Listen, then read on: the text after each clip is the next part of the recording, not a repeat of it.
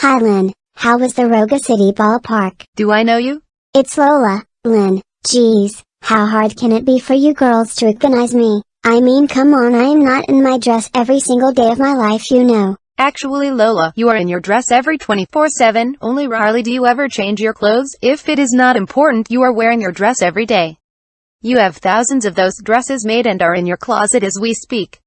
You liar, I change clothes once in a while, even in our show, I am willing to wear a uniform, I also wear pajamas, and I am even willing to wear some of Lana's clothes once in a while. Ah, sure you do.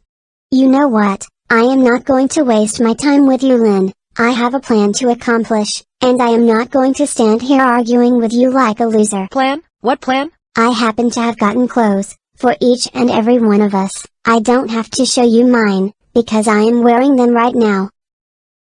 Clothes? Oh, that sounds cool. Do you have any sportswear in there? Lynn, these clothes are not to mess around in, with filthy sports, they are for trying to win back Lincoln.